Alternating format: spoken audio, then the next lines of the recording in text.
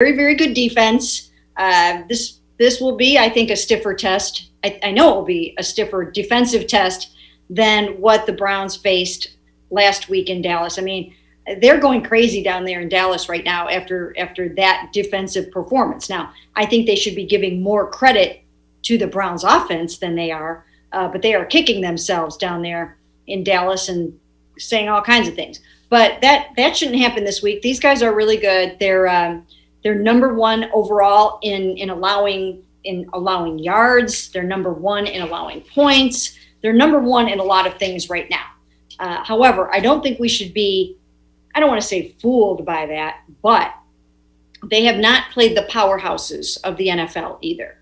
This is not a team, once again, that has faced the Russell Wilsons and the Tom Brady's of, of the NFL. But they're doing well so far in what they're doing and you know they're they're taking away. They've got I can't remember how many interceptions, but uh, they've got a number of seven. They've got seven interceptions, and uh, you know that's a significant amount. So Baker's going to have to be on his p's and q's this weekend.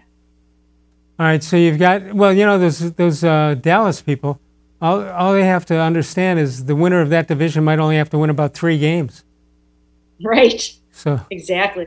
They could but, probably yeah. I mean, to have that offense that Dallas has paired with that defense, it, it's really a shame to see that kind of an offense go to waste. I mean, it would be good for the NFL if that was a playoff bound team, but not it might not happen. Okay, last year the Browns under Freddie Kitchens went into Indianapolis and had a, a, couple of practices and it didn't go well. At least maybe it maybe it went the way Freddie wanted it to go, but it didn't didn't go well at all. Are there still some people involved from last year that are still hanging around and can't wait to get a little piece of flesh? You know, I don't think that that will be a factor. I, I don't think so. They're, you know, they've got, uh, you know, a new quarterback in Philip Rivers. I don't really think that that that's going to come into play too much. I think that, uh, you know, I think the focus this game will be on, you know, on their defense, trying to slow down uh, the Browns the Browns offense and just trying to see what they can do about uh, this running game, even though they don't have Nick Chubb, seeing what they can do about uh, Odell Beckham Jr. And now they've got a lot to think about. They've got a bunch of trick plays, they've got reverses, jet sweeps. They have a very creative play caller in Cleveland that they have to worry about. Well, the uh, Colts, of course, uh, offensively, you have to worry about Johnny Unitas and Lenny Moore, don't you? yes, you definitely do. Thank you very much. All right, so the key players Philip Rivers and Jonathan Taylor. What do we need to know about Taylor?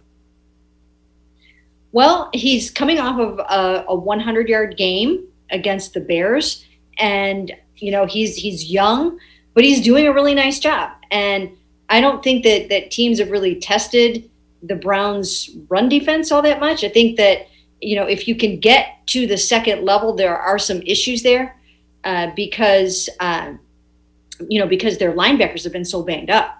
But um, yeah, you know what? He's he's doing a really nice job so far, and he's somebody that they have, have got to watch out for. High scoring game, low scoring game, middle scoring game. What do you got? I think middle scoring game.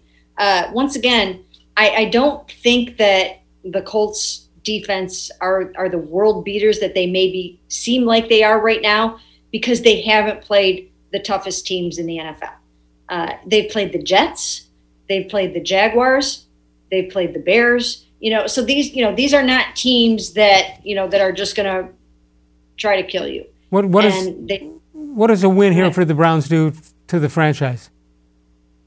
Well, I think it would be fantastic, obviously, because they would be four and one for the first time since 1994. No, 1994 and they went to the playoffs that year. Yeah, they actually went eleven and five that year, and they that was the Vinny that was the Vinny Bernie uh, affair. Yeah, so you know if, if they can if they can get to four and one, I don't want to say that you're going to guarantee a playoff spot, but you are well well on your way at four and one to making the playoffs. As it stands right now, I think they have a seventy percent chance. I saw that earlier today. They've got a 70% chance of making the playoffs right now. So you know, I I think I think that you can start making plans to be watching some postseason games. Yeah, it's fun.